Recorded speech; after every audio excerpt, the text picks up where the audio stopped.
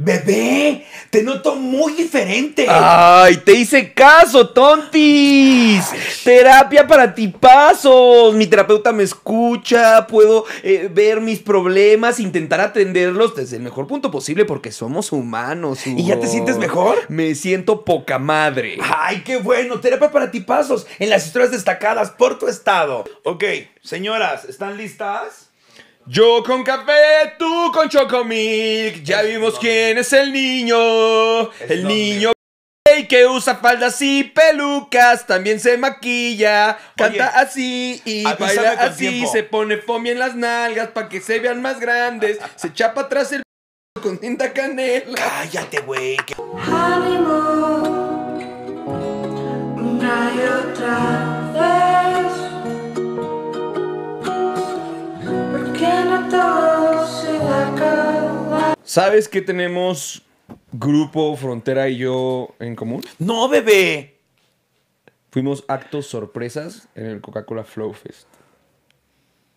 Digo, ellos habrán jalado como Cinco 3.000 personas. Yo jalé como 30. Pero. Se sabían mis rolas. Bueno, la que hice con Karime, porque la otra era nueva. ¿Sabes? Como tiré una nueva. Estoy bien, güey. ¿Sabes? Es el camino. Mi nombre de reggaetonero, estoy entre Bruce Vega y Bruce del Arch. Estoy a dos de pegarte, aventarte algo.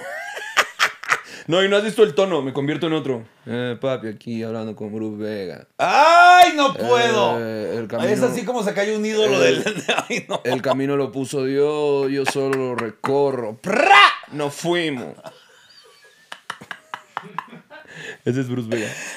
¡Predicador! Predicador, hermano. Me dijeron cuando me subí que estaba al mismo tiempo que Chencho Corleone. Me preguntaron qué se sentía ser competencia de Chencho Corleone. No, Chencho Corleone es competencia mía. Nadie que se apellide Corleone persona, ¡Nos fuimos! es una persona decente. Nadie, güey. ¿Cómo te vas a poner Corleone? Bruce Vega o Bruce del Arch. Voten en los comments. Bienvenidos sean ustedes a Animus, el podcast que hace una estrella del reggaetón y una perra eh, Travesti. travesti. Ni siquiera, ni siquiera drag, ¿no? El güey que no entiende de que tu papá y un, y un travesti. O- un hombre que se viste de mujer. Oye, me voy a operar. ¿Qué? Ya ¿No lo te vas a decidí. operar? ¿Qué te vas a operar? Sí, me voy a operar el cuello. Ya no pien- pienso que me digan pelícano nunca más. Me voy a jalar aquí como en. ¿Quién te dice pelícano? Todos estos me dicen pelícano. Oye, ¿cuánto has adelgazado? Estoy muy contento, muy No feliz. importa, no vamos a hablar de eso. No vamos a hablar de. Sí, del tenemos que hablar- Dicen que es importante no mencionarlo ni para arriba ni para abajo, solo no se menciona. Tienes que hablar, lo tenemos que hablar de mencionan los eso. haters, güey. Porque vamos a hablar mucho de la aceptación, de lo que uno hace. Es que no me cachaste el pedo. Entonces es cierto. Eres lo que flaca, uno hace con tal de sentirse joven. de mantenerse. Y ese, y ese precisamente el análisis de hoy. Nos tienen regañadísimos. Y sí tienen razón en decir análisis psicológico, porque no somos psicólogos. No somos como la psicóloga, esta nada mentira. más es, eh, ¿Quién? ¿Cómo se llamaba Cote? ¿Alex ¿Cómo? Sierra? ¿O No. cómo? Cállate. es broma, es no, broma. ¿cómo se llama la psicóloga que, Es broma, es broma, es broma. que atraparon siendo Ah, Marilyn Cote. Marilyn Cote? Marilyn Cote. ¿Qué pedo con la vieja, güey? Pero que nadie se da cuenta que eran Photoshop las fotos. No, todos se dieron cuenta. El pedo es si cuando ya estás en la patrulla dices, ok, ya voy a dejar de ser mitómano, o si el padecimiento es tan fuerte que toda tu vida sigue siendo mitómano. Y la gente está- que está- El padecimiento del mitómano es muy peculiar, güey. Muy peculiar. Porque aunque los confrontes, Sí. siguen. Ve a dónde llega tu mentira. Porque el pedo es que se lo creen, güey. ¿A dónde llega tu mentira, güey? Que tú hablas francés, güey. Tú hablas francés. O sea, en tu, en tu realidad tú hablas francés, güey.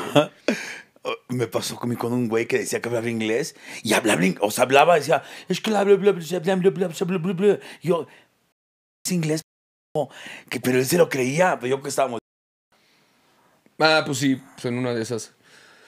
Pero bueno, eso, eso está digno de otro episodio. A- analizando al mitómano. Pero estamos nos en tenemos un psicólogo, pero un psicólogo chingón, güey. a que nos ayude a analizar a un mitómano. Me voy a operar el cuello, ya lo ¡Ya! dije. ¡Ya! Sí me lo voy a operar. Es una cosa que la cara nunca me la voy a tocar. La cara creo que estoy bien para mis 47 años.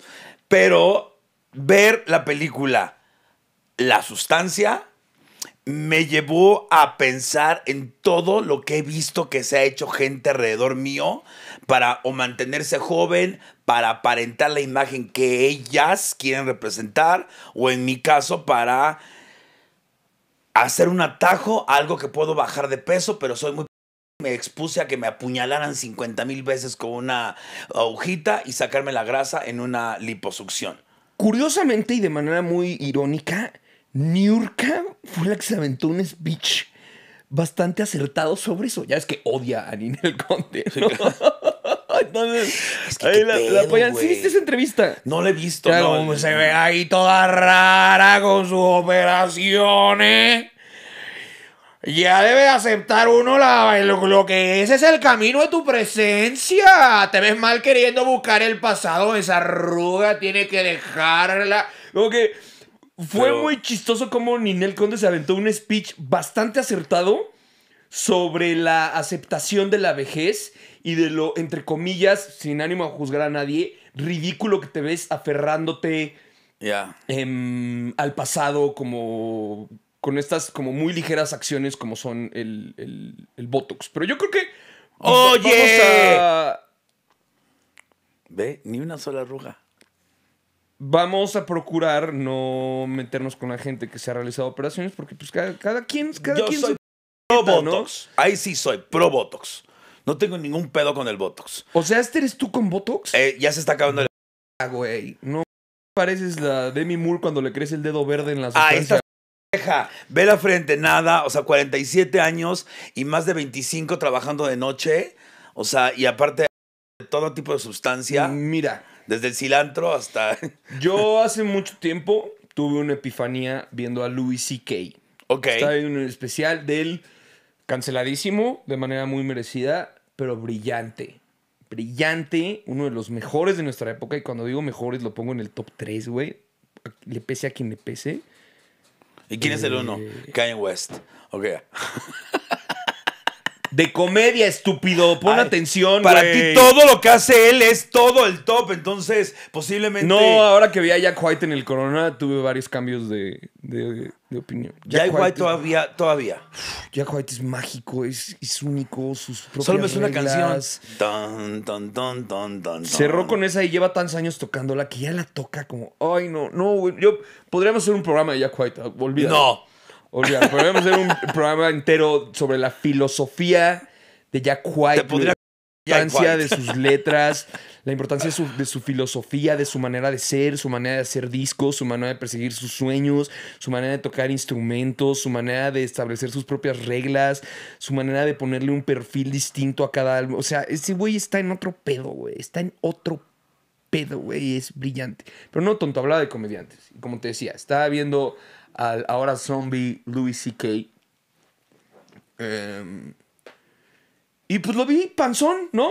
Ahí Oye, está todo, sí. está todo panzón, está muy panzón. Ay, porque ya está flaca. Está- ay. Calvo, está calvo, está panzón.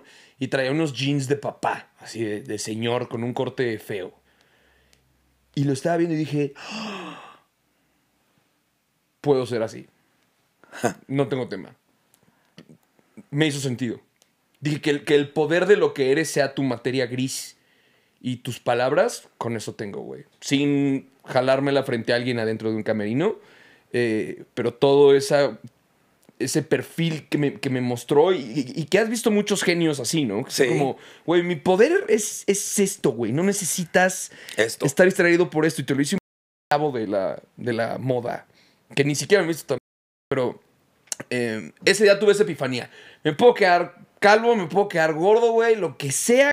Si, si- lo que tengo que cuidar muchísimo es mi materia gris, mi conocimiento, que mis palabras tengan coherencia, que mis palabras sirvan en Mis el escenario. Porque creo que el sueño de todos nosotros, güey, se lo pregunta eh, Jerry Seinfeld a Aziz Ansari en Comedians in Cars Getting Coffee. Eh, le dice como, ¿cuál es tu mayor sueño? Y me dice, mi mayor sueño es ir a la Comedy Store, que es este bar muy famoso de comedia en Los Ángeles, en el cual caben unas 200 personas. Dice, y a mis 85 años, subirme ahí, hacer un set y, que me vaya bien e irme. O sea, como mantenerte vigente. Lo decíamos ahorita con el, en, en el episodio pasado con el Borrego Nava. Como hacer todo por lograrlo como lo logró George Carlin, ¿no? Que fue como llegar a una muy avanzada edad y seguir siendo coherente en el escenario y que no te vean como, "Oh, Claro. oh, ya lo perdió, ¿no? O sea, Morgan Freeman. creo que eh, Polo Polo, salvo ese último tour que fue muy obligado, que no fue decisión suya, logró eso, ¿no? Como logró en sus últimos años ya grande tener mucho respeto de la gente y, y por eso fue un error tan grave eh, como ese tour forzado en el cual Ya no estaba el chido. señor ya no estaba bien y, y- y- por eso fue desastroso eso. Y, y- no, yo creo que te tienes que ir como, como en alto. Entonces, Ahorren para poder lograr eso. Ahorren. ah, sí, muy importante. Ahorren, ahorren Sí, para no muy tener- importante, güey. No tener que hacer El- esa gira de despedida triste. El... ¿En, en qué sketch metí? Ah, no, todavía no sale. Pero uno que escribí que es este, que el, el payaso no se ve bien con arrugas. No. Eh, ese es un diálogo que, que metí en un, en un sketch que todavía no he podido grabar. Pero bueno, Convengamos. estamos hablando convengamos. de. Convengamos, maquillamos, nos la jalamos, nos Estamos hablando de la lastimamos y con Durex nos la escondemos. Jamás me la escondo con Durex, me duele mucho. Estamos hablando de una película donde hay una negación absoluta, eh, eh, más bien una eh, falta de aceptación a, a- a esta nueva generación, a mantenerte vigente, a actualizarte. Pero a mí lo que más me llamó la atención de la película es la batalla interna. O sea, la batalla contigo mismo. que arranca específicamente como lo cuenta la película por culpa del estándar de belleza que impone el hombre. El hombre. Que a pesar de que se ha diluido y que se ha despertado y que se ha deconstruido, sigue siendo gran parte de lo que dicta el, el estándar de belleza. Yo, por ejemplo, eh, me alegro que la- la- la- hubo una gran liberación sexual desde los años 60 que fue liderada por la mujer. La liberación sexual que sucedió durante los años 80 y 90 fue muy liderada por, por el hombre, ¿no? Que fue cuando, cuando alcanza su, su, su gran pico Playboy, a pesar de llevar varios años. En Hustler. Hustler era la, la revista que estaba yo eh, buscando. Como que alcanzan este pico y hay una gran liberación sexual, pero esa gran liberación sexual está regida por el hombre. Y actualmente la liberación sexual que existe es en gran parte, gracias a que las cosas han cambiado y que las mujeres han hecho muchas cosas para que así sea, eh, está regida por la mujer. La gran mayoría de las mujeres. La gran mayoría eh, de las mujeres, y exacto, sigue siendo una gran mayoría porque lamentablemente el hombre sigue siendo como que un aparato que, que, que deforma esto. Y esto es lo que sucede al principio.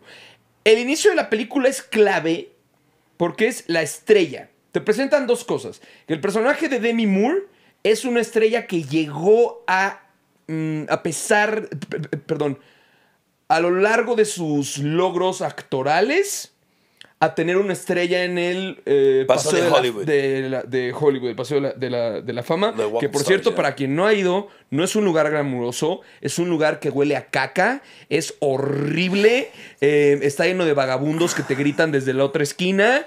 Está sobre la avenida Sunset Boulevard, que es la más transitada y es la más turística. No es, güey, eso no es turístico, eso es horrible. Bueno, porque güey. está China- Es tristísimo, Está güey. el cinema chino. Tris- Ajá, el teatro, el teatro Kodak, está, el el teatro Kodak. chino, o sea, ajá, es un como- lugar donde frecuentemente es la meca del cine hollywoodense. Sí, que te lo venden como aquí está el glamour del cine y está tan prostituido por la cantidad de turismo que hay y por la gran cantidad de se consume la gente que vive ahí en la calle que lejos de ser un lugar glamuroso es un lugar donde se da como este sentido gris falso de las estrellas. O sea, yo recuerdo una vez que me hospedé por ahí después de ver a Kanye West y la clave del wifi del hotel era Johnny Depp.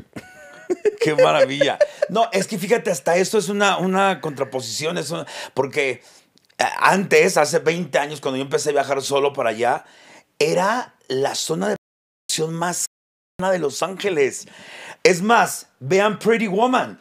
En Pretty Woman, la calle donde se prostituye el personaje de, de Vivian, de, de eh, Julia Roberts. Julia Roberts, es la misma calle donde es la, la meca. Entonces, tener una estrella para muchos es, es todos los este, icónicos están ahí. O sea, las manos de Cher, Marilyn Monroe, todos. Y se supone que la película empieza donde esta chava logra tener esa meta frívola de tener su estrella. Te muestran un viaje al pasado en el cual en algún momento de su carrera se colocó una estrella eh, con su nombre, que es como cumplir el sueño. Esto, esto va a ser muy importante a lo largo de la película y es prácticamente clave en el, en el final.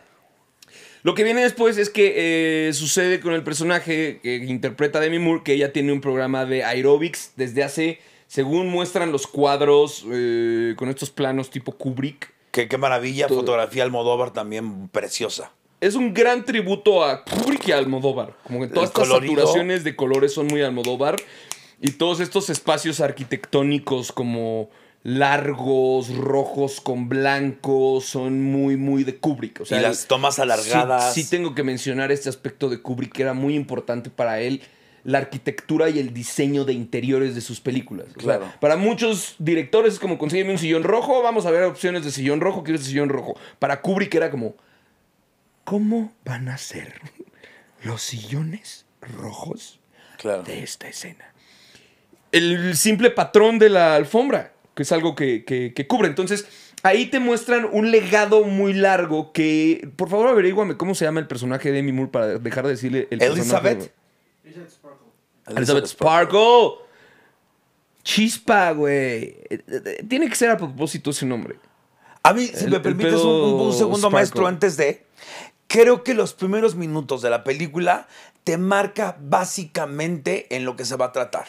O sea, de tener la gloria en esa estrella, vas viendo cómo la gente te va, va olvidando. O sea, primero, ay, aquí se tomaban fotos, después van olvidando quién era. Después un güey tira un hot dog encima de la estrella, cuando ya hasta está agrietada y demás. Y después pasa una máquina y limpia todo. Pero ya cuando limpia, ya es obsoleta el nombre, el nombre de Elizabeth Sparkle. O sea, ya creo que ahí resume muchísimo lo disposable que somos, los, eh, lo desechable que Desechable, somos. sí. Y te había mencionado, no sé si al aire, que hay una canción de Nina Simone que se llama Stars. Sí, me comentaste. que define. Vato, si un día la pones en una carretera, te vas a maltripear, güey, porque te vas a identificar en algún punto de, de- de eso. O sea, La Simone es muy perra. Algunos la hacen de grandes, otros la hacen de rucos, güey. Otros nunca la hacen, dice. Pero cuando todo pasa, viven sus vidas tristes en sad cafés, en music bars, güey. Están ahí. La voy a escuchar hoy en el Eh, coche. entonces, como que un- un- me- ahorita que lo mencionaste, me, me recordó eso. Entonces, te muestran que se ve bien ella. Y que es una rockstar de los aerobics, ¿no? O sea, está en un buen punto. No, es, no está en un mal punto. convengamos, está hermosa. No, está, no ves que se peina y se quedan canas en el cepillo. Este, no ves que se encuentra una lonja. No, tiene un cuerpazo, está poca madre. Da su clase, sale, la y se está haciendo pipi y hace algo que al chile más de uno hemos hecho, que es eh, meterte al baño del otro sexo sabiendo que no va a llegar nadie del otro sexo. Yo me equivoqué en el aeropuerto de Chicago, me andaban agarrando la patrulla. No. Porque nada yo- más tenía la dibujito. Ay, bueno, en fin. Yo ya. lo voy a confesar, está muy mal que esto, pero lo he llegado a hacer como en est- estos restaurantes donde solo queda, solo hay uno. Y entonces veo que el restaurante no tiene tanta gente y es como que exploro la posibilidad de que en caso es muy difícil que venga una persona y piense yo que estoy muy mal esto. No, no, no. Pero que si llega a salir, está como, ¿qué? ¿Qué? No me di, no me enteré. di cuenta. Entonces, em, ¿Era Elizabeth? Elizabeth le sucede lo mismo que a Richie en el restaurante. Evalúa que nadie va a entrar al baño de hombres, entonces se mete al baño de hombres a hacer pipí. Y es cuando aparece este personaje que está escrito, vestido e interpretado para ser este hombre grotesco. O sea, si te das cuenta, el clap clap de sus botas vaqueras. No usa, no usa bota italiana. Es un güey que se pone con traje bota vaquera. Siento que es algo que está como muy planeado para. Ey, nada en contra de las botas vaqueras. O sea, pero como esta combinación traje con botas vaqueras te muestra que es un güey que para hacer un desplante de poder. eh, ábreme la toma.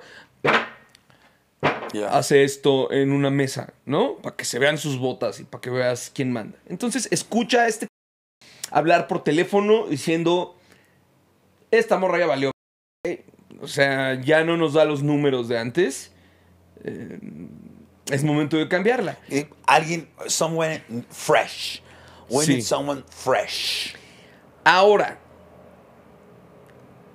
es irrefutable este argumento de que con la edad muchos de nosotros dejamos de tener la relevancia que antes teníamos. Es claro. Y es algo que tienes que aceptar, güey. O sea, tú no brillas como brillabas a los 20, güey. No eres igual de relevante, güey. Lo mencionabas ahorita eh, a Morgan Freeman, ¿no? Como quien quisiera llegar a, a la edad que tiene Morgan Freeman, como lo hizo Denzel Washington. Denzel Washington, güey. Que viste ese pedo que digo en un podcast que hace 40 años no hace un casting. Dice, no, ya me escriben los papeles, güey. No, este, eh, yo, eh, ahí el otro moreno, Jackson, este, bueno, no, no, no moreno, perdón, negro, este, eh, ay, bueno, que dice que él, ha- Samuel L. dice, Jackson. one take, bitch, one take. O sea, todas sus películas son a la toma uno. Qué magia de cabrón. Entonces, hay algo en tu ser que no muestra la película, pero que sí quiero mencionar yo, que es la importancia de mantenerte Jedi, siempre estudiante, para jamás perder tu relevancia, güey. Pero Porque- aceptando el viaje, güey. Aceptando el viaje, güey. Claro. Acepta tu, como dice Niurka, acepta Acepta tus arrugas, etcétera, güey. Pero tienes que ingeniártelas, güey, para...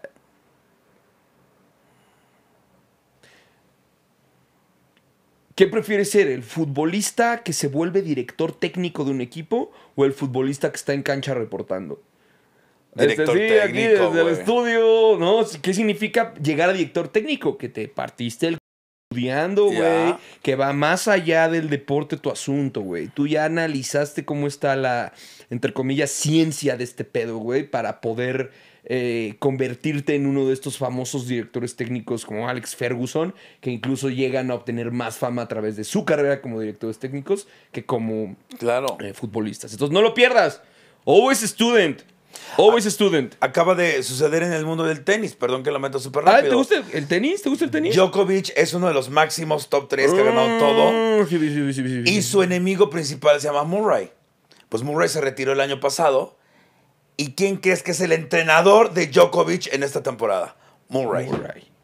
O sea, después de enfrentarse, de conocerse, Djokovic dijo, nadie me conoce mejor en la cancha que este. Wow. Y es momento que esté de este lado. Y lo, lo que mencionas es muy importante porque requiere humildad. Claro. Requiere humildad. En vez de decir, ¿qué se. Claro. Y al mismo tiempo Nadal escribiéndole una carta pública en Instagram. Ya. Como de vato. Ah, Federer, porque Nadal se Federer, retiró. perdón, perdón, perdón, Federer, Federer, no, Federer, Nadal no. se retiró. Oye, pero bueno, volviendo al tema de la película, que en verdad sí me emociona mucho el tema, porque he de confesar, lloré. Lloraste. He de confesar. A mí no me dio asco en ningún momento. ¿En qué Lloré. parte lloraste? Espérate, es- está acercados al final y Sí. vas a tirar un... No, ok, entonces, vayamos en orden, vayamos Sí. en orden. Lo que sucede con Elizabeth es que eh, Elizabeth escucha esto y necesita ir al fisioterapeuta, ¿no? Porque trae un dolorcito de espalda, Ajá. una cosa así, y en eso... No, tuvo, tuvo un pe- accidente. Tuvo. eh, Ah, claro, choca. Se me El- Este, el este patán lo cita en un restaurante en el cual come unos camarones de una manera más asquerosa, escupiendo la comida. Que por favor, hombres, no hagan eso. Qué turn off. Y le- Los zooms y el audio que utilizan en esa escena son clave. O Y, sea, y la es- reacción de ella, en verdad, Demi Moore, mis respetos, un vacío. Hay una cosa que en la actuación que se llama be the ball and see the ball. Ve, sé la pelota y ve la pelota. En ese momento tú ves a la actriz vacía, güey. Vacía. Y de repente va manejando su coche. Porque lo que está haciendo, perdón, lo que está haciendo es realizar una completa escucha desde el personaje. Sí, claro. No, no- nos lo enseñaba eh, una maestra de actua- de actuación. Le prestas el sentimiento al personaje. Ya. Por eso actuar es sentir. Le prestas el sentimiento al personaje para que no te involucres tú ni te debilites. Se lo prestas a través de algo que has vivido, que has sentido. Y entonces, lo que hace Demi Moore, que es lo que eh, la va prácticamente a llevar a una nominación de un Oscar, es que está escuchando como el personaje las palabras que se le están diciendo y está sintiendo y viviendo lo grotesco que está haciendo En ese momento. ver a este güey cómo le vale al nivel que se está empujando unos eh, Sí, porque la están despidiendo del Camarones. trabajo de la vida. Y a eso súmale que va manejando su coche sobre alguna calle de Los Ángeles y ven como su espectacular lo arrancan y en ese momento ella dice, ya no soy nada. Y siguiente escena, maravillosa escena, coche, ¡pum!, chocó. Y llega el- la escena del, del choque muy bien realizada, muy bien realizada. Y eh, Qué chido es cuando en el cine te regalan un choque y te espantas como si tú estuvieras Claro. dentro del vehículo, ¿no? O sea, como- ¿de dónde- nos aunque te la esperabas. Nos, nos volteamos. Sí, claro, no, Mm. me, me encantó, me encantó, me encantó, me encantó. Bueno, eh, ha habido muchas. No sé si tuviste una que se llamaba Sor- eh, Saltward con Halle Berry y, Oh, hallelujah. y, y Jack Hackman. Keep your pants to tell Tiene me una to explosión 360, es la mejor toma que he visto. Bueno, ya. Ok, entonces llega el doctor y pues la, la analizan, ella se siente mal, empieza a llorar, ahí ya le da la catarsis. Y de repente se acerca un enfermero hermoso, guapísimo, con una marca en la mano y le empieza a hacer ciertas eh, medidas de la espina dorsal y demás cuestiones. Y dice, eres candidata, ¿no? Y le da una tarjetita, y dice, llámanos, ¿no? Eh, desde ahí dices, esto está a punto de valer. La historia de la Guzmán se va a repetir. ¿Qué- Polímero. Qué mágico sería verla sin saber nada, ¿no? O sea, porque tú y yo la vimos ya teniendo conocimiento de ciertas cosas que pasaban. Imagínate ir a verla sin saber absolutamente Yo fui- nada de lo que pasaba. Yo, yo vi, yo fui sin saber qué era. Yo me, me imaginaba otra cosa por completo.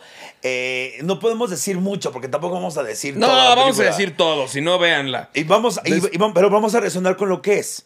Ahí se acerca mucho donde yo lloré. Eh, En ese momento es cuando empecé a sentir cositas feas. Porque tú no lo tienes todavía, güey. Porque tienes 30 años, güey. 34. Bueno, 34. Yo tengo 47 años. Y me empezó a pegar muy el hecho de, güey, ahorita Miss Diamond, ¿qué? Lo que quieras, güey. En unos años. Stars, they come and go.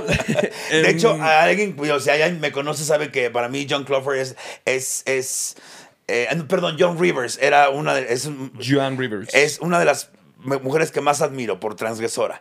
Y en su, en su documental, creo que ya lo comenté, muestra su agenda, dice, ve, cuánto trabajo tenía, ve, no había un día desocupado, sácala de este año, ve, nadie se acuerda de mí, vacía la p***. Para mí fue un en el útero de mujer que no tengo. Ahora, muy irónico, porque justo en el episodio pasado con el Borrego Nava mencionó algo sobre estar arriba y abajo. Y en un episodio de Louis, la serie Louis que lo contratan para dar un show en Las Vegas. El güey está muy emocionado y en eso se da cuenta que su show no es en el teatro del casino, sino que es en el casino, donde están las máquinas. Verga. Entonces, el güey eh, avisa que va a cancelar el show, que cancela la serie de shows que va a tener ahí, güey, que a la... Y la que está como headliner en el teatro es Joan Rivers. Y entonces hay un momento en el que se encuentran. Y Joan Rivers le dice a Louis C.K. como, güey, no, no puedes mandar al shows nomás porque te tocaron en el casino, güey. En esta carrera estás arriba y estás abajo todo el tiempo. Ay, quiero ver esa escena. tienes, ¿Dónde? tienes que entender que, que así va a ser. Entonces, qué chistoso que Louis le escribió esa escena a Joan Rivers y luego se le olvidó a Joan Rivers. Que bueno, una eminencia Joan Rivers y una señora a la que le encantaban las operaciones. Sí. Vamos a todo esto. No, vamos a la premisa y no vamos a continuar con más. Llega a. ¿Por qué no? Yo Porque sí la gente no lo ha visto. Claro que la ha visto, güey. Para cuando yo la vi ya estaba prácticamente vacía la sala. Tú cuando la viste ya estaba prácticamente Era vacía la solo sala. yo en el cine. Ahí está, ya Fue la vieron todos, güey. En mi vida era el cine ya, solo. Ya, ya está. Ya la vio la gente es que yo y que no quitará el episodio, güey. Em, entonces. No me gustan los cines comerciales. eh, llega a su casa. Este cuadro es muy importante. Tiene un cuadro de su versión joven que la está eh, de cierta manera viendo. Necesito que me ayudes a recordar qué es lo que finalmente la motiva a ¿A llamar? a llamar cuando en un inicio no quiere llamar. Eh, se despierta, sigue su vida normal, le llega un sobre con una invitación, no sabe qué es, y ella vive en un penthouse, obviamente, enorme, eterno, y en este, en este, um, ¿cómo se llama? En este penthouse abre una ventana enorme que tiene y ve a su reemplazo. Ah, no es cierto, es antes, ¿verdad? Sí, no. Es, es- es antes. ¿Qué la motiva a llamar? El periódico. El per- Ah, el Ya. periódico ya está solicitando Dando- su reemplazo. sí, cierto. Entonces va a este lugar que pues no es ningún doctor profesional, un lugar súper cutre en el que se me hace muy, está muy marcado. Te arrastras para entrar. Claro. La puerta no abre por completo, güey. Tú te tienes que arrastrar. Arrastrar. Yo creo que ahí hay mensaje. Sí, no, y aparte desde el momento en que, en que eh, ella ve el comercial y tira la USB por completo porque no cree que sea la eterna juventud y demás cuestiones. Ve esta madre y dice, no, tengo que hacer algo para mantenerme vigente, para seguir siendo Elizabeth Barker. Que ese es el gran error, güey. Cuando se te va una de estas cosas o dejas de tener relevancia en otra, pues te pones a chingarla para encontrar en algo más. Claro. Eva María Beristain nos dio un episodio hermoso en el cual platicó eh, sobre cómo le intentó durísimo a la actuación. Es una morra que actúa chido, además. Y pues bueno, entonces voy a hacer ruido social. Y el ruido Claro. social es un vergazo. Por cierto, ese que hizo de la gente de las coladeras, no te pasaste, verga. Eh, Eva, estás muy nueva Cristina Pacheco, Pues insisto. Este, entonces, Todo el mundo se lo dice. ah, pues resulta que llega a este lugar que es mucho secreto, se arrastra como tú bien dices, pero ya dentro, yo creo que como persona llegas y ya te da confianza porque ya es un lugar súper moderno y ella tiene un número 503 y busca la caja 503 y recibe un paquete. Que el 503 significa. No es cierto, ya. El, güey acá conspiranoico, Este. ¿no? Que el 503 es 5 más eh, 3, que es 8, que es un número que cuando lo partes es 4 y Cuatro y luego luego- 2 y luego es 1. uno y Entonces es un número que es par, es par, es par, lo cual es perfección. y um, recibe un paquete con alimento para ti, alimento para tu, no me acuerdo cómo se llama la persona que sale, Es Matrix, este. Ma- Matrix y el otro, digámosle así, tú, el Matrix eres tú y el otro yo, ¿no? Tu bebo.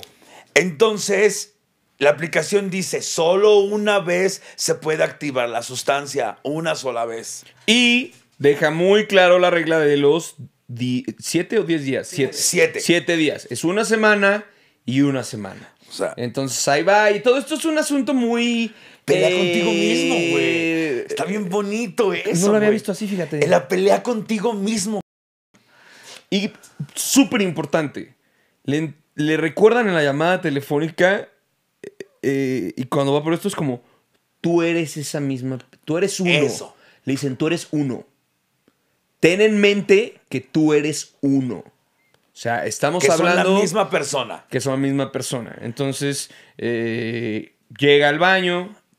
Eh, actualmente, actualmente, Demi Moore, al dejarse mostrar tal cual, este. Gracias, mamacita. Qué, Estás- estás bien, qué valor, güey. La verdad es que esas están donde deberían estar.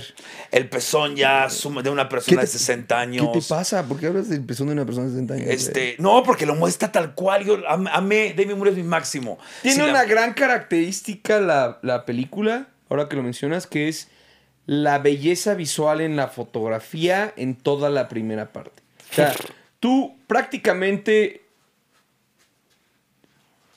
el- es que no me gusta decir esos porcentajes que no son reales, pero que la gente utiliza para decir frases, pero es que- prácticamente el 95%, porque hice la ecuación antes de venir, güey, de imágenes que se te muestran, podrías ponerles pausa y tenerlas enmarcadas en tu casa.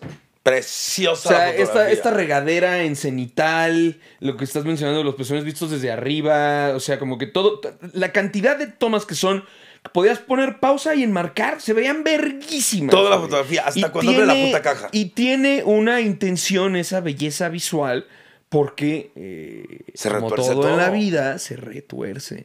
Eh, sale de ella misma. Ella- ella se Esto la lo ves- sustancia. esto no lo ves venir No, a pesar cero. de que ubiques los pósters y los teasers, no ves venir que la persona sale de su espalda. Se ¿Sabes abre qué? como huevito kinder y sale.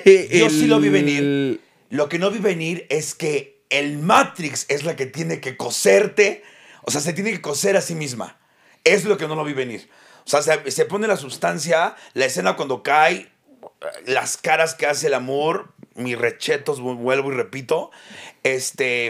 Es, es, es, es, es muy difícil hacer esa- esas transmutaciones de cara, más en cine, porque en cine haces ¡Ah! y se ve de este tamaño la pantalla y está sobreactuado. Entonces, mis respetos. Pues bueno, ya. Sale esta persona, que es una mujer hermosa. Yo no la conocía por ni madres. Yo no sabía quién era. Todo firme, todo bonito. Cose a su Matrix. Y de la misma Matrix tiene que sacar su comida de los siete días. Que es lo que la va a nivelar. Si no, si, si no se, se pone mal si no se inyecta esa madre. No es su, comi- no es su comida, es como, el- por así decirlo, el líquido de espalda que necesita para Nivelarse. estar erguido. Ajá. Ajá. Porque lo que sucede es que antes de que se lo inyecte, parece yo cuando no me tomo mis vitaminas. Empieza como a ver borrosos, empiezo a marear la. Y entonces la película de manera muy orgánica te muestra el ¡Ey! Y no olvides darle un jaloncito de líquido a la espalda e inyectártelo eh, tú. Que es toda esta mezcla entre la belleza y lo grotesco. O sea, como estos desnudos que tienes de ambas actrices eh, están completamente justificados para la estética visual de la película. 100%. No son estas como... Luego hay unos que... que las escenas de sexo o los, o los, o los directores que como... La, la para que se viera chido. Aquí Aquí, aquí cojan. Te voy a decir una cosa que mi morra no me cree. Eh, me la película, en cualquier película que haya escenas de sexo. Me molestan muchísimo. No por woke, ¿eh? Me molestan muchísimo, güey. Me lo enseñó Doc Stanhope, uno de mis top 3 comediantes favoritos, güey. Dice, ¿para qué? Dice, ahora estoy caliente, güey, en una película. Dice, a ver, no estás viendo una p- a la mitad asaltan un banco, ¿verdad, güey? Entonces, me gustaría que dejaran de tener. No les encuentro sentido. Me aburren. Es como, hey, dame el implícito de que van a cochar. Y ya, güey, no me hagas ver 40 segundos de. Sí, claro. Pero eso vende. ¿eh? Me, en esta lo encontré justificado. No quiero pensar que así pujas, ¿eh? En esta lo encontré justificado. Se va a su casting y el viejo caliente está fascinado. Cabe aclarar que en el casting la directora realiza muchísimas escenas forzadas de nalgas.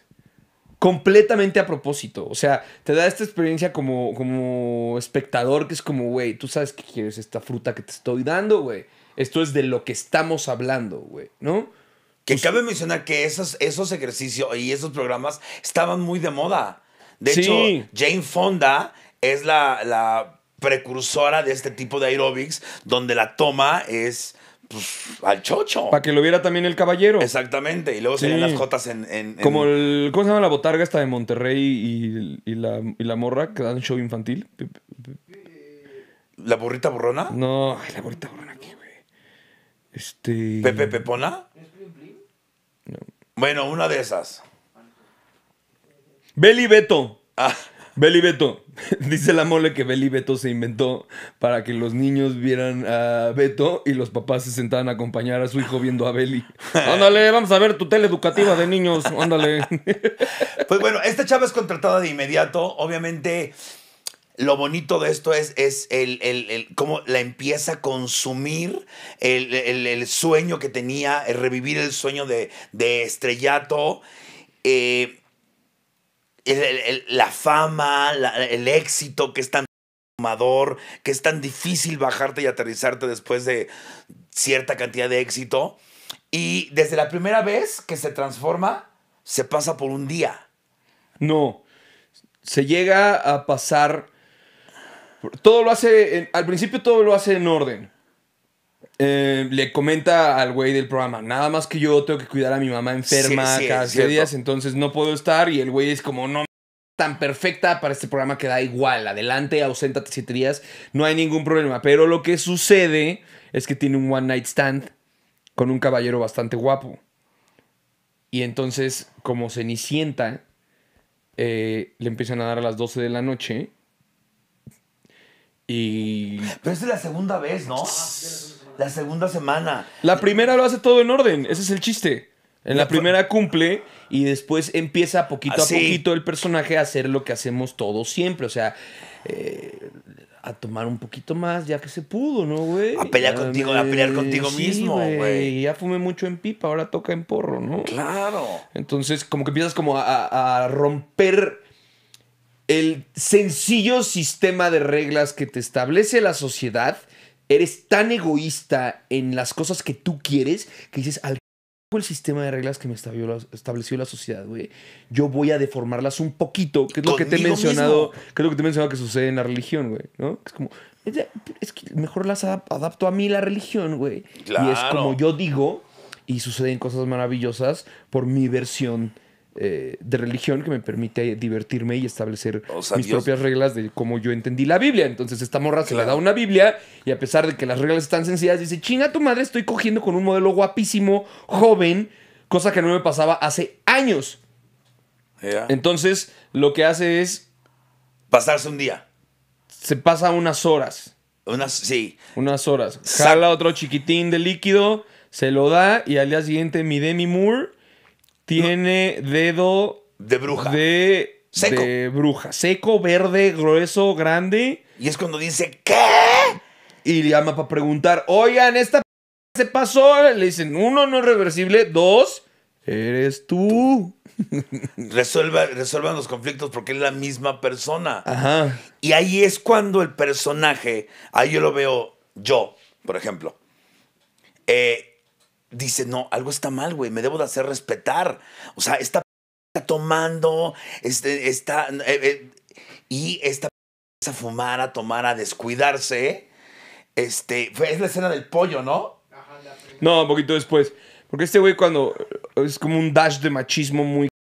Que cuando la retira forzadamente en el restaurante, le dice, toma un regalito.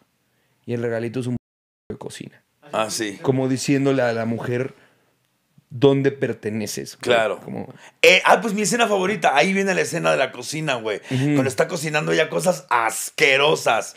es como un, un- Te me estás brincando. Sí, no. Te me estás adelantando.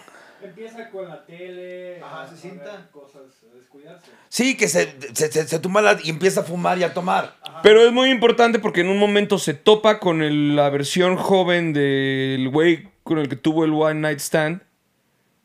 Ella estando ruca. Y el güey le dice, "Qu- quítate, güey. Se está subiendo a su moto. Y le dice, quítate. O sea, que me das asco, güey. O sea, Pero como tú- tú no eres relevante para mí porque no eres la juventud con la que yo estuve anoche. Tú güey. dices el eres una vecino, ¿no? ruca estorbosa, güey. Justo después de cuando es Se la... queda el casco en Ajá, se queda el casco, tira el casco en el pasillo, limpia todo lo de la fiesta. Creo que cuando se va otra vez, ¿no? Regresa y es con el moto de frente ya. Que está en la moto. No me acuerdo Papito, bien. papito, pon atención.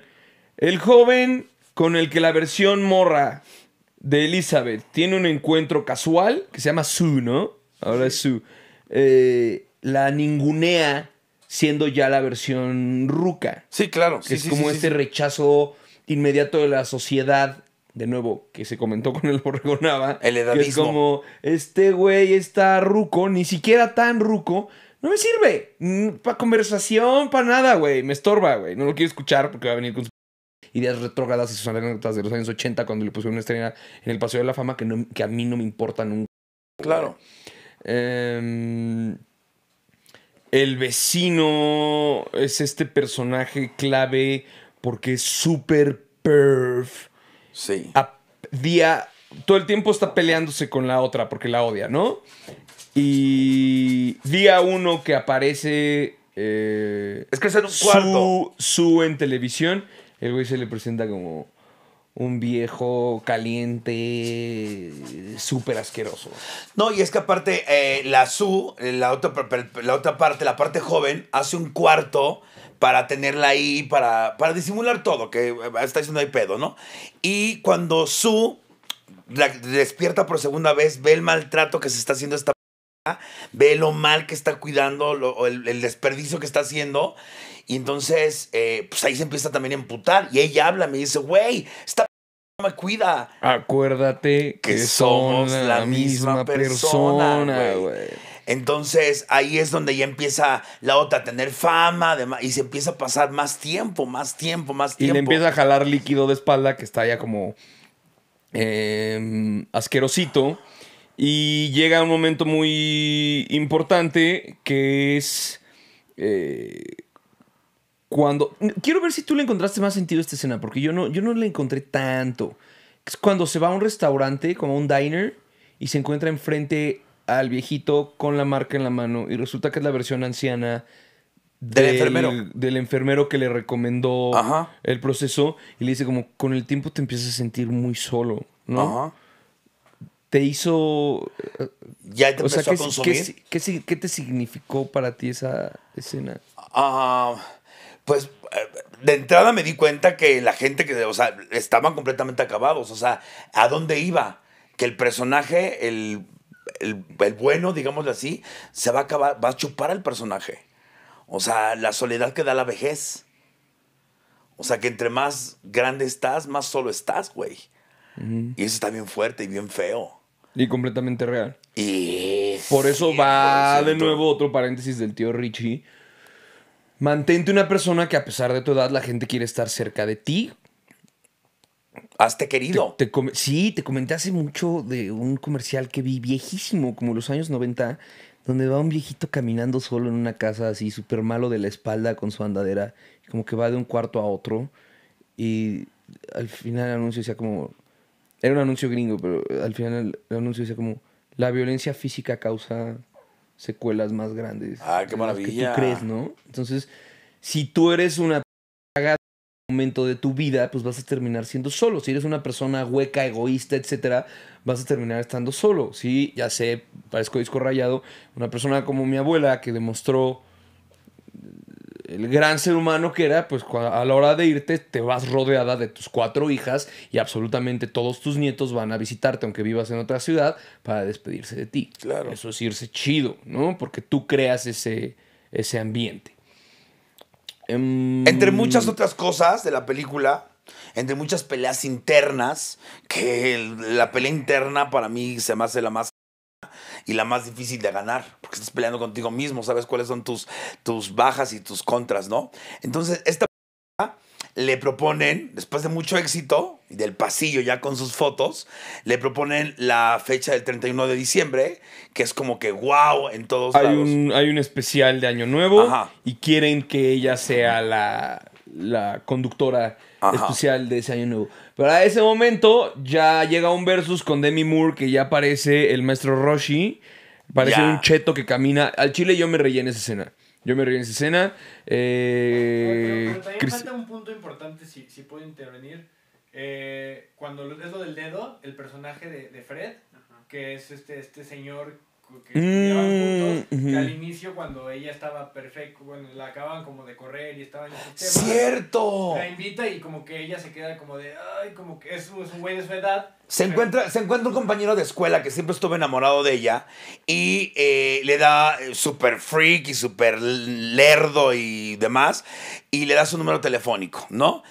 Ella, recapacitando, dice, bueno, voy a gozar la vida. Esa escena es chula, cabrón. ya cuando está valiendo verga. Ya cuando está valiendo, ya tiene el dedo malo, dice, bueno, ok, si esta está gozando, voy a gozar yo también, va. Pero para que vean hasta dónde va la cuestión mental de la aceptación de los años, de tu imagen y de no tener una disforia de física cantan. Ella se arregla, se ve Se pone hermosa sus guantes negros para que no se le vea el dedo y verde. se ve chulísima, güey. Le habla este que hace un sacrificio, salir con un perdedor de ese tamaño, pero ella quería sentirse querida todavía porque ya vio el letrero de esta y entonces va a salir y se regresa. No, no, no, no. Me voy a poner aquí porque me empieza a dar incomodidad que mis senos están caídos. Y se empieza a peinar otra vez. Faltan 20 minutos. Ya se va a salir y regresa. No, más maquillaje, más maquillaje. Empieza tal su seguridad que acaba destrozándose, acaba dejando plantado este paso a. Que es como mejor que ni me vea. Exactamente. a que me vea así. Y sosteniendo este punto que dices que es muy importante, o sea, como eh, este asunto subjetivo que es como, no te ves mal, güey.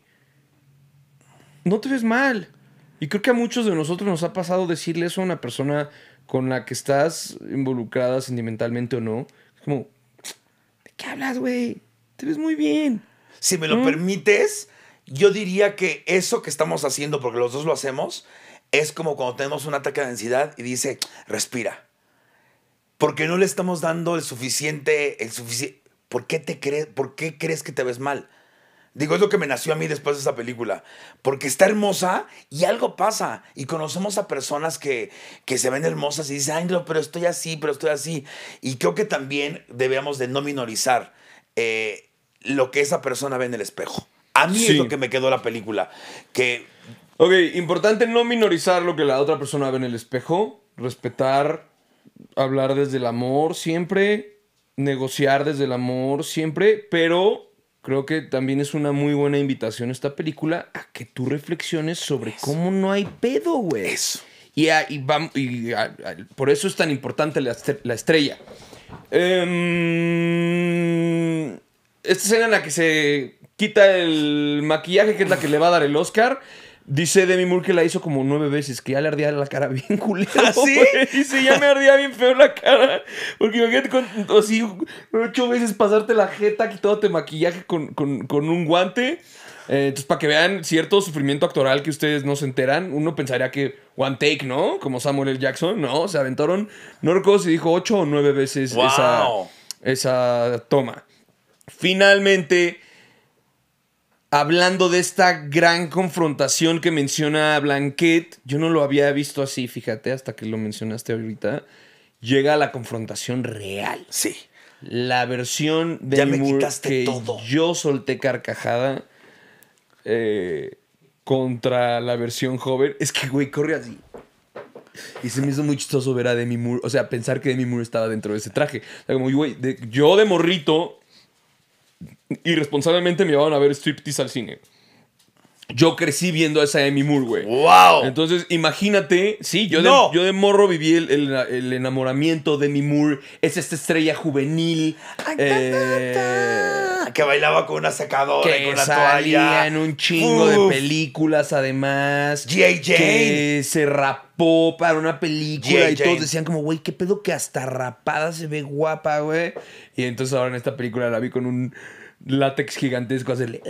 Todavía. eh, Porque le absorbe, le va absorbiendo tanto la juventud, a- la, La joven, vida. a través del tiempo que pasa sin respetar la regla de una semana en una semana y le va jalando líquido de la espalda, líquido de la espalda, líquido de la espalda, lo hace tanto que termina drenándole exacto la vida a, a Elizabeth y llega esta gran escena en la que mucha gente se salió del cine. Eh, pero yo estaba fascinado. Eh, Cristina eh, se tapó los ojos. que es la confrontación La confrontas. física. Y no sé si es en esta confrontación o es antes cuando avienta algo al cuadro y queda justo en el ojo. Es, en, es antes, antes, Es antes, antes. antes. Sí, porque la, la nueva quita todo y ya, o sea, quita todo para verse ella ya como tal, güey. Entonces, eh, le chupa tanto la vida que es, yo, yo, yo en mi cabeza vi el futuro está chingándose tanto al presente por querer chuparlo y pre- preocuparse y no estás fijándote en el pasado, lo que estaba. En fin, yo me chaqueteé muy Me gusta esa chaqueta, güey. Continúa. me- el, futuro te está chingando y le estás que no estás dejando vivir el presente, teniendo esa tan maravillosa. En fin, llega un momento en el que ya no, ya, ya eh, le saca lo último antes del 31, ¿verdad? Sí. Y se empieza una pinche De entrada se muere. retroverguiza. De entrada se muere y esta p- dice, no, m- si se muere ella, me muero yo. Ahí sí ya pensó la estúpida, ¿no? Entonces le- le- la conecto otra vez no- y los dos viven, o sea, están en el mismo cuadro al mismo tiempo. Eso es porque pide como el. el- Ya para eliminarla. Ajá, el- Para terminar el, el proceso. Es verdad, antes de la pelea, ella dice, ya, estoy muy vieja, ya, ya, ya no puedo, ya necesito acabar con este proceso. Y justamente cuando la está inyectando a la mitad, dice, no, o sea, voy a morir, voy a permanecer así, este, ya se arrepiente y es cuando la otra reacciona y es cuando se mete en una retro chula, güey, ¿eh? retro que como que mucha banda no acostumbrada a la violencia de cine, que me encanta esa entrevista que tiene Tarantino en un morning show, que lo está confrontando una morra, de que es que tú no piensas eh, el daño que haces con la violencia de tus películas, por qué tienes violencia en tus películas. Y el Tarantino la interrumpe y le dice, Because it's fun! Because it's fun! ¡Tadiver! Creo que además de Because It's Fun, tiene este pedo como medio punk, que también tenía eh, Kubrick, que es eh, como vamos a llevar la violencia al máximo. Claro. O sea, la estrella contra el cuadro o contra una mesa. contra el cuadro y contra una mesa. Pero para finalizarla, ¿contra qué la estrella? Contra, es el- Contra la mesa. Bueno, las la- patadas que le desangran. La, la pudo haber estrellado tres veces, como en muchas películas, y que ahí se acabara, ¿no? Aquí la, la decisión de la directora es, vamos a llevarlo muy lejos, güey. O sea, aquí es donde todo se empieza a ir a la... güey. La sociedad es violenta, güey, y tú te vas a dar una dosis innecesaria de violencia, pero es necesaria para que empieces a entrar a lo grotesca que se va a poner la película a través a partir de este momento. Llega la grabación de Año Nuevo. Yo tengo esta teoría. Cristina dice que estoy loco, pero que está vestida como cenicienta, güey. Eh, sí, pero para eso se vuelve a activar el virus. O sea, la Matrix tiene otra Matrix. No, espérame, antes. Ajá, o sea, cuando. Va a la fiesta de Año Nuevo, trae un vestido azul pomposo y una corona como la de Cenicienta. Yo no sé, esta es teoría mía, si se quieren referir a esta persona que a las 12 se acaba la calabaza. güey. Ah, podría ser. Y entonces llega este momento en el que el directivo grotesco, con su traje naranja, le llega a presentar a los otros directivos. Ah, que se le caen los dientes. Les dice, mira, este, ella es. Y ves las caras de los otros güeyes como cerdo. Y menciono en otro momento, este diálogo es muy clave, que hace rato lo dije de broma, pero estaba citando la película, que es, están justo donde deberían estar, güey, ¿no? Como las de la otra ya no. Claro. Sonríe. ruca, Algo de la sonrisa. Sí, le dice sonríe. Pero antes, es este pedo de. Es que están donde deberían estar. Están justo donde deberían estar, ¿no? De que me encantan las. Me choca cuando se caen las. Mm, para este momento ya empezó a valer la última sustancia que jala del otra, ya es un verde, Nada. negra y asquerosa. Entonces se le. Se da cuenta porque se le cae la- una uña. Y en el pasillo se le cae un diente. Y entonces llega este gran momento en donde le dice, este cabrón, creo que tiene mucho peso esta escena de que, ¿estás contenta? Sí. Sonríe. Pues sonríe.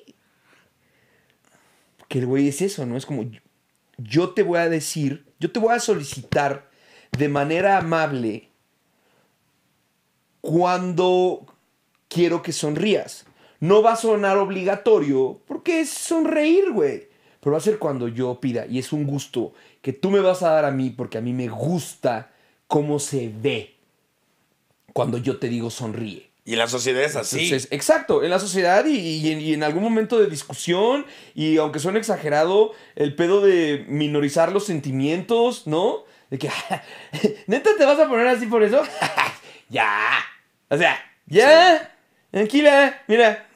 ya pasó. Sonríe. Sonríe. Entonces, como, como esta gran imposición social que en esta película está tratada desde el hombre a la mujer, pero que no olvidemos que sucede Yo siento que de la eh, sociedad a la mujer. de la sociedad a la mujer. Pero no olvidemos que sucede de, de- de- también de mujer a mujer Claro. y de hombre a hombre, como esta obligación de no, es- no estés triste, pero el, de, quién es? De Coco Celis. No, estés- no estés triste, persona triste. Claro. No estés triste, persona triste. A mí no me gusta que estés triste, güey. Entonces, yo te voy a decir sonríe. Y como no te estoy exigiendo el fin del mundo, tú me lo vas a dar. Claro. Porque es una sonrisa, ¿no? Sonríe. Pero el peor es que aquí ya no puede dar la sonrisa completa porque ya no tiene un diente. No, está frustradísima, está atacada. Y es- ahí tienes otra gran actriz, güey, porque tiene los ojos de llanto y está regalando una sonrisa. Por eso es tan, tan famosa esa escena. Se va a la casa desesperada con la idea de que la sustancia da una mejor versión de ti. Ajá. Entonces, en ese momento, le parece adecuado realizar el proceso que había realizado Elizabeth para ella misma y así poder estar al tiro en la fiesta de Año Nuevo. Que ya, es como una completamente, ya está completamente desfasada, ya está completamente sobrepasada por la situación. eh, ya no es ella, pues en sí nunca fue ella. Su ella ya, su ella ya está enterrada, güey. Eh, y se activa otra vez la sustancia. Yo tenía mucha curiosidad por ver el espejo. Eh, me- cuando estaba esa escena, yo decía, va a salir guapísima otra vez y me cago aquí, voy a gritar. Y no. Cuando eh, sale de su espalda es pues la suma de todos tus miedos, de todos tus traumas, de todos tus rencores, la suma de todos tus malas decisiones. Es un monstruo con siete bocas, con la cabeza... tiene, de- tiene en la espalda a Moore, a. Moore. No, es, es- está muy... Pero más... Y mucha gente lo infantiliza, pero en verdad mucha gente ya es un monstruo después de hacerse tantas cosas. Se empieza a arreglar ella, güey, para irse a la, a la, a la fiesta. Este, ve el cuadro. Creo que es la cara del cuadro. O ve una Creo que es un momento en el que tú ya no ves al monstruo, ¿no? No, sí lo ves. Porque lo que hace es lo que dices, agarra el cuadro, recorta la cara de la persona de antes. Y se le de lo engrapa. que solía hacer y se le engrapa la jeta. Entonces ahí va este monstruo eh, regresando al set con lo que parece ser una máscara de papel eh, de lo Demi que Moore. era Elizabeth, el Elizabeth personaje Sparkle. de, de Demi Moore. El show está por comenzar. Las bailarinas de Hollywood, el Las- clásico cliché. Muy importante. eh, están toples. Sí. Es innecesario que estén toples. Porque es un show de Año Nuevo, no un show privado nocturno de Las Vegas, güey. Eso le va agregando a lo grotesco. Claro. Como en un show televisado de manera en vivo, ¿por qué hay 20 morras en el escenario con las fuera? ¿Por qué? Porque aquí ya es, es eh, eh, lo grotesco, porque es do- donde, donde manda el hombre y donde manda eh, el cuerpo desnudo como entretenimiento. Camina esta mujer, lo que queda de ella, güey, de el mal resultado de este experimento de la sustancia, con esta máscara de papel, se la retira, Se le cae. se le cae. Y hay un silencio profundo en todo el teatro. Pero no hay repulsión. Es, es- es un asombro. Eh, Ahí me, me choqueó mucho porque dije, güey, desde que la ven caminando, ¿por qué no salieron corriendo? O sea, hay cierta aceptación por lo grotesco, güey. No, al contrario, yo lo que vi fue cuando empiezan a atreverse a señalarla como grotesco, este concepto con el cual has notado estoy muy obsesionado del chivo expiatorio. De qué asco esa persona. Claro. Yo no. Yo todo bien. Pero eso pasa hasta que se le empiezan Yo- a caer las partes del cuerpo. No, de- desde, desde, desde que la ven, es guácala. Guácala, mírenla. Uno de ellos dice, mírenla. Mírenla, qué asco. Y es como, como yo lo sentí. Dice Eddie Vedder que cuando pones el arte allá afuera deja de ser tuyo y se vuelve de la gente, Ajá. ¿no? Lo que yo interpreté en ese momento es como muy similar a la cancelación. A lo que yo te comentaba eh, que me entristeció tanto cuando cancelaron a Pepe Peralta, ¿no? O sea, que gran parte de la gente que lo estaba cancelando no le importaba un pepino el movimiento feminista. Le importaba que tenía la facilidad De hacerlo. poder disparar, güey. De poder decir, el mal, yo bien, güey. Sí. Y por eso es tan importante esa escena, como guácala, mírenlo, qué asco él. Lo cual significa que yo no doy asco, porque Claro. el que está dando asco en la habitación es esa persona, claramente. Y ahí sucede eh, el acto La más escena punk Carrie. de la La- película. La escena Carrie. Este. ah, Por- eh, le explota. el- el- algo le explota. Algo, algo, espérate, antes de que se le caiga el brazo, pasa algo muy clave en la película. Clave. Están donde deberían estar, ves la toma cenital de ambas con las ves a todas las bailarinas con las te menciona dos veces el personaje de Dennis Quaid, eh, que están donde deberían estar, y en eso su cuerpo caga una chichi. Ah, sí. Y la chichi cae en el escenario. Ahí y, es hay donde- un, y hay un plano a la chichi. Y es como, ah, aquí no les gusta entonces, ¿no? O sea, aquí es asquerosa. Sola, no por su cuenta, es asquerosa. Que no les encantaban, güey. Que no había un grupo de bailarinas completamente desnudas que les encantaban. Que no mencionaste dos veces en la película están donde deberían estar. ¿Qué pasa con esta? Que no está donde debería estar, güey. Por eso te da asco, güey. Claro. Se me hace poderosísima esa, eh, eh, esa imagen. Hay una escena que me, me marcó también antes, cuando la eh, Demi Moore se come un pavo, ella está grabando el programa y de repente ¡pum! se le sale como una bola en la nalga Uy, sí es cierto. y se va a su camerino y del ombligo se saca la pieza de pollo, güey. Sí es cierto. Y es cuando dice, esta hija de su madre me está maltratando, me está acabando, me está... En el programa, claro, está... está Uy, ¿no? pero bueno, entonces... Te das cuenta, para, por ahí, desde ese momento, más o menos desde la pelea, la estética visual que te estaba yo diciendo, que es digna de pausar y enmarcar a tu casa, Vaya. se va a la mierda, güey. Es. Yo le decía cosa punk, güey. Es cosa punk. Y la película, de repente yo me reí más de una vez en el cine y Cristina me dice, te mamas riéndote en un drama. Googleé y decía sátira y yo. ¿Qué hubo? Sí, Aquí porque pasa una sátira. escena donde Eddie explota por completo. Eh, no, no explota, pues eh, sale por todos lados y baña a todo mundo. Baño de. ¿Cómo interpretaste tú esa escena? Este, Para mí fue solo diversión punk Tarantino Kubrick. Para mí fue un justificar de tomen la que estaban que crearon. O sea, esta es la que crearon, ahí les va la que crearon. Y de Es- nuevo como la pelea. Esa escena podría durar la mitad de lo que dura, pero la intención de la directora es larga. Enorme, güey, Pensaste enorme. que ya se acabó el baño de... Sigue el baño de... güey. Ella sale- Sigue y sigue y sigue Sigue. y sigue y sigue. Y ves a la gente que no se sale se- de, la, de la sala. Y se mojan. Que es como tú en el cine, güey. Eres tú en el cine. Ahí, Estás güey. viendo el baño de... Y no te, y no te sales. En la película hay una escena donde un güey se ve que está atrás y nada más las así. Y sigue sentado mojándose de sangre. Digo, esta es la humilde interpretación que estamos dando dos personas que han consumido muchísimo cine. Eh, pero seguramente como un vato cineasta o un artista nos podría permitir muchísimos más puntos de vista Sí, claro. que se nos están yendo. Eh, también como que el arte es para cada persona, pero pues ustedes avienten en los comments qué notaron ustedes o qué explicación le dan ustedes a estas escenas que no estamos final- diciendo así es, sino que estamos diciendo que este es como lo percibimos. Sucede el baño de este monstruo se sale. vuelve inmortal. Porque si se le corta un pedazo, vuelve a nacer otra mutación.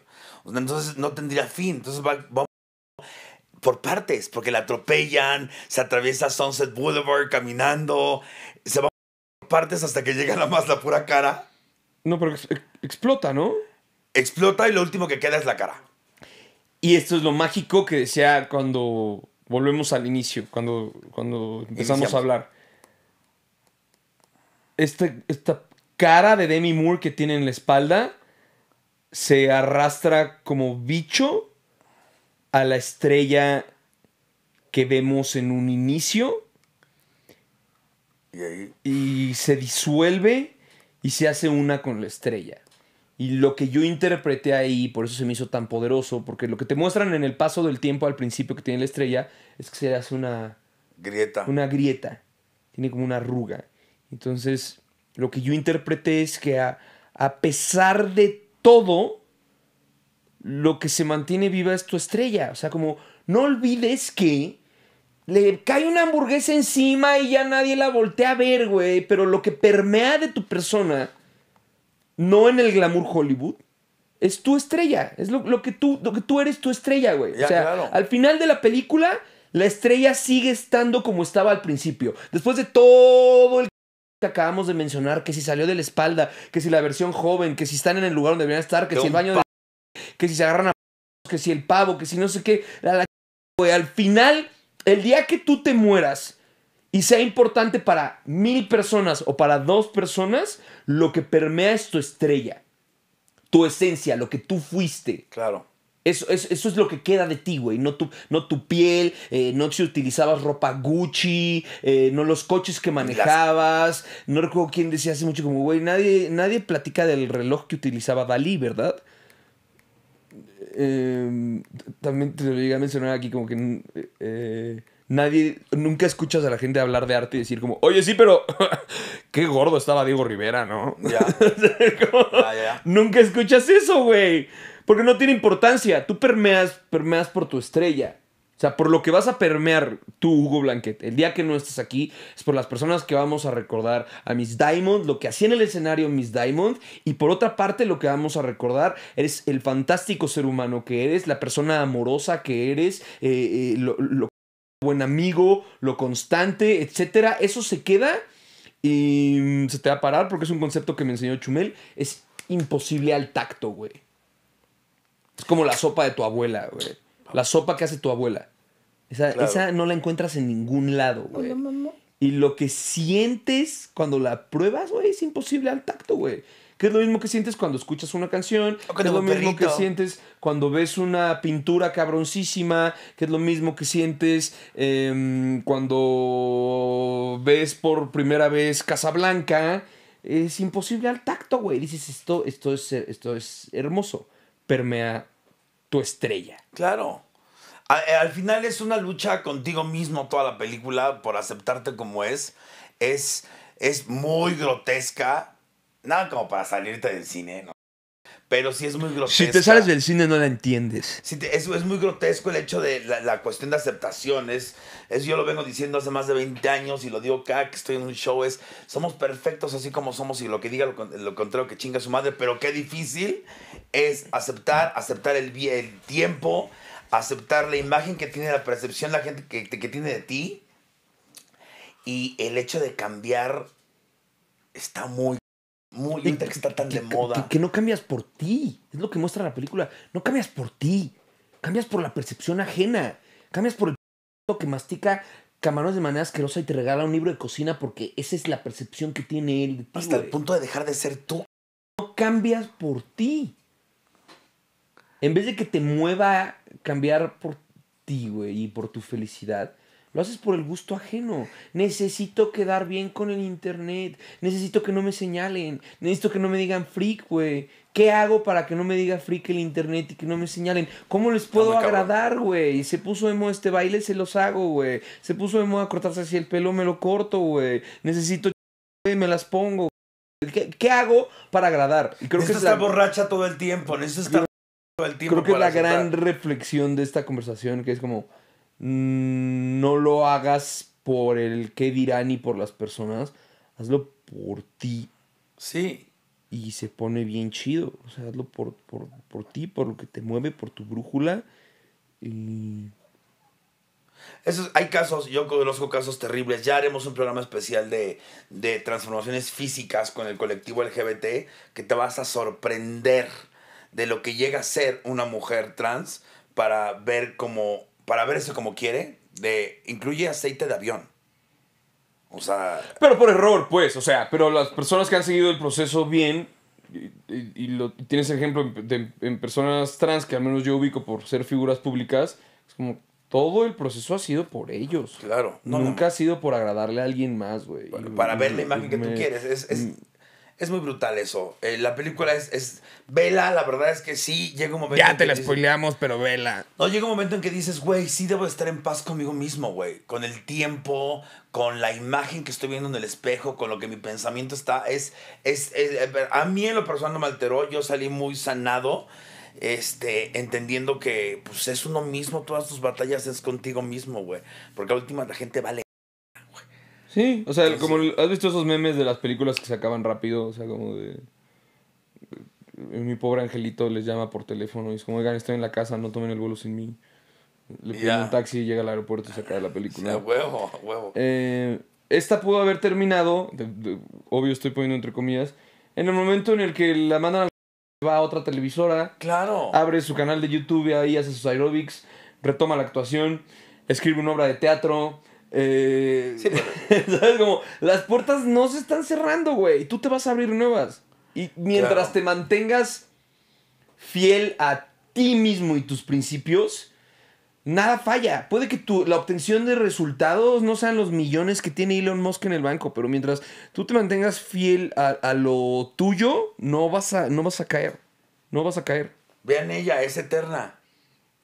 Oigan, y coméntenos qué película quieren que platiquemos y que veamos. Ya acaba padre. Naranja Mecánica, güey. Ay, cállate. Y Ya tú, acaba ya- y Naranja tú también te voy a dar Mecánica, tarea. Ay, ¿me mandaste qué? Joker 2 Foie Gras. Vete a la... Hay que verla, güey. No, no. Mira, antes de bajarme, escu- venía escuchando uh, Pass the Mic de los Beastie Boys. Me vas a traducir, ¿ok? Dice: Everybody's rapping like it's a commercial. Todo el mundo está rapeando. ¿Rapping? ¿Dijiste? Sí, rapping, no raping, güey. Ah. No te pases de. Como si estuviera, ¿qué? Everybody's rapping like it's a commercial. Eh, todo el mundo está rapeando como si fuera comercial. Acting like life is a big commercial. Actuando como si la vida fuera un gran comercial. So, what I got to say to you all Solo que tengo que decirles a todos ustedes, be true to yourself and you will never fall. sean honestos con ustedes mismos y nunca van a caer. Verguísima, lo dijeron los Beastie Boys en los 90. Perfecto final. ¡Los amamos! Bye.